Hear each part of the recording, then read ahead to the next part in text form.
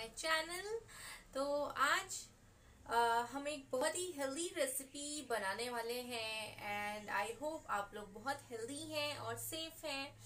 तो सर्दियों का टाइम ऑलरेडी स्टार्ट हो गया है तो चलिए शुरू करते हैं आज की रेसिपी के साथ। तो आज एक डाइट रेसिपी मैं आप लोगों के साथ अपनी डाइट रेसिपी शेयर करूँगी और इस डाइट रेसिपी को आप टेस्टी वे में कैसे खा सकते हैं, कैसे आपको बोरिंग ना लगे। तो चलिए शुरू करते हैं।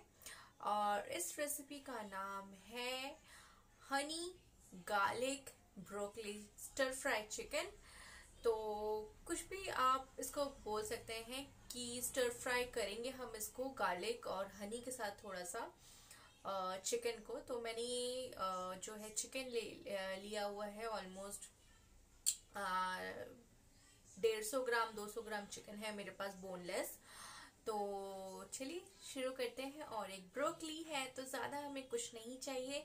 थ्री फोर क्लोव्स हमको गार्लिक चाहिए और अनियन चाहिए हमें और सेसमे सीड चाहिए। तो कैसे बनाएँगे तो पूरी वीडियो देखते रहिएगा।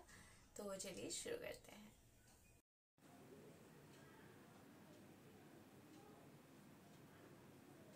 तो सबसे पहले यहाँ पे हम पैन ले लेंगे और पैन को अच्छे से गर्म करके इसमें मैं सेसमे सीड्स ऐड करूँगी, जिसे सफ़ेद तिल कहते हैं। तो ये तिल मैंने इसमें डाल दिया है और इसको पहले मैं ड्राई रोस्ट कर लूँगी। अच्छे से थोड़ा सा ही गोल्डन हो जाएगा, तब मैं इसको हटा कर रखूँगी। ये बहुत ही हेल्दी होता है, सेहत के लिए बहुत ही अच्छा होता है ससमे ससमे ऑयल। इसकी प्रॉपर्टीज़ बहुत अच्छी हैं, आप इसको गूगल करके चेक कर सकते हैं। और आप किसी भी खाने में अगर इसको टॉपिंग करेंगे तो इसका टेस्ट बहुत ही ज़्यादा इंक्रीज़ हो जाता है। तो इस तरीके से मैं इसको गोल्डन कर लूँगी और इसको फिर साइड में रख दूँगी।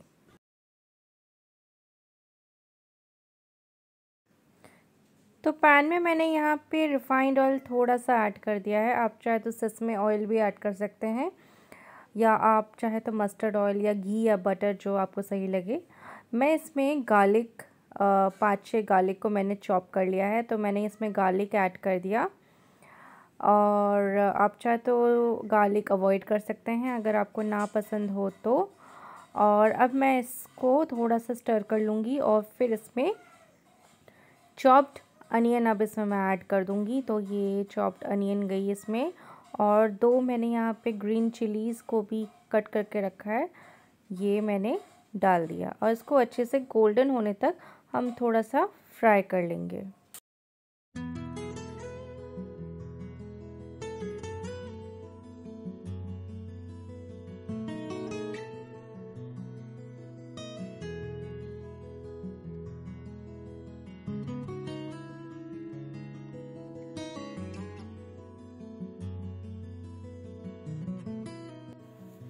अब इसी पॉइंट पे मैंने चिकन ऐड कर दिया है। चिकन मेरे बोनलेस है और यहाँ पे 200 ग्राम्स चिकन है, जैसे मैंने आप लोगों को बताया। तो मैंने अच्छे से धो के रख दिया था। इसमें मैरिनेशन के लिए कुछ भी मैंने ऐड नहीं किया है।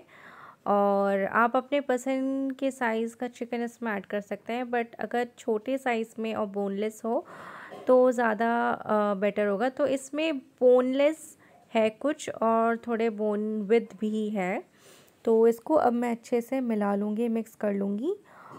और ज़्यादा बड़े साइज़ के चिकन होते हैं तो वो गलने में टाइम लगता है। तो आपके चिकन के ऊपर डिपेंड करता है कि ये कितना टाइम लेगा।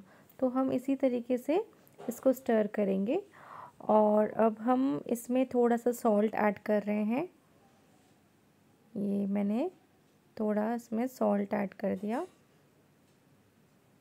बेहतरीन। और इसको फिर से हम जो है स्टर कर देंगे।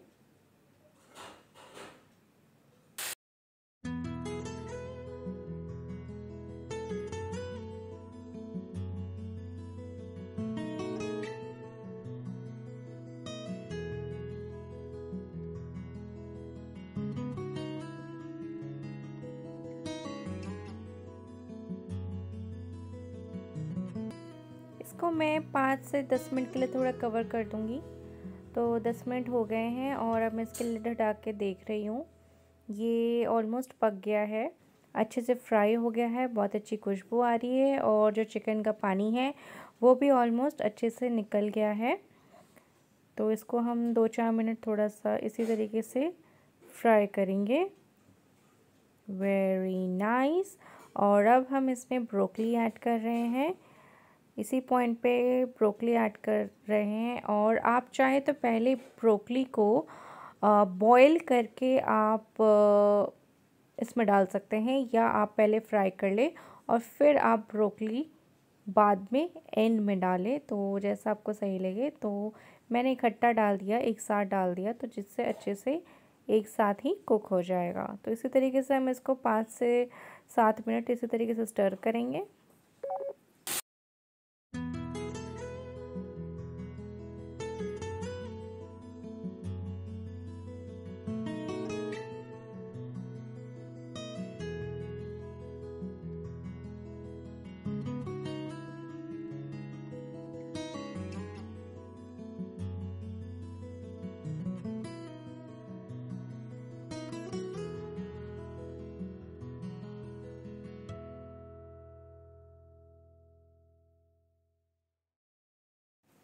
गाइस ट्रस्ट मी ये बहुत ही हेल्दी रेसिपी है।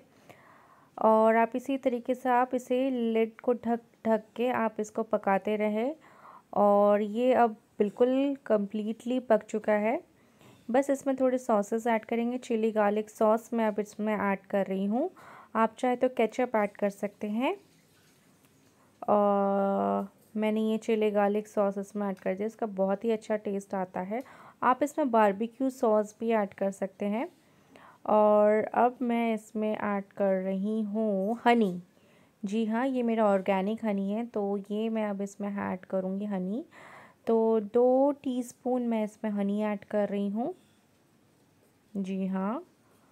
और अब मैं इसमें सोया सॉस ऐड करूँगी। तो सोया सॉस ऐड कर देते हैं अब।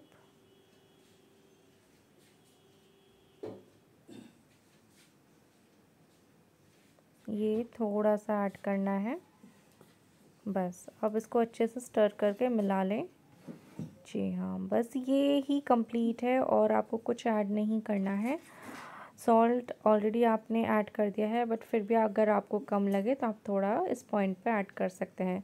बट इन सब में ऑलरेडी थोड़ा थोड़ा सॉल्ट रहता ही है, जैसे स्पेशली सोया सॉस में तो हमें नीट शायद ना पड़े, या मे बी थोड़ी सी सॉल्ट ऐड करें। तो यहाँ पे मैंने थोड़ा सा पानी ऐड कर दिया है, और इसी पॉइंट पे हम इसको दो चार मिनट के लिए और ढक देंगे और कुक कर लेंगे।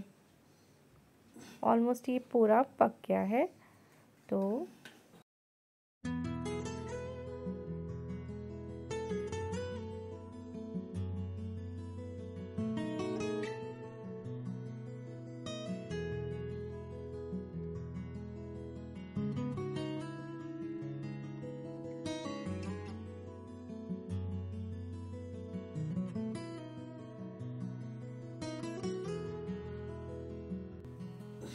तो मैं लेकर देती हूँ। आप इसे चेक कर सकते हैं। ये इतना टेस्टी लग रहा है।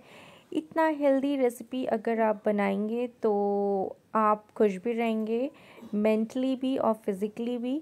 तो आप इस तरीके से इसमें पनीर या टोफू भी ऐड कर सकते हैं चिकन के बजाय। तो आप और भी वेजिटेबल्स इसमें ऐड कर सकते हैं ब्रोकली के अलावा लाइक कैरेट वगैरह। और अब मैं इसमें लास्ट में इसमें सीड्स ऐड कर रही हूँ। इससे बहुत अच्छा क्रंच और टेस्ट आता है, जैसे मैंने आपको स्टार्टिंग में बताया। तो गाइज़ आई होप आप लोग को ये वीडियो और ये रेसिपी हेल्दी रेसिपी अच्छी लगी होगी। अगर लगी होगी तो एक लाइक ज़रूर कर दीजिएगा और अगर आपने सब्सक्राइब नहीं किया है तो प्लीज़ ज़रूर से सब्सक्राइब कर दीजिएगा। तो गाइज़ मैं चलती हूँ, फिर मिलेंगे नेक्स्ट व्लॉग में। तब तक के लिए बाय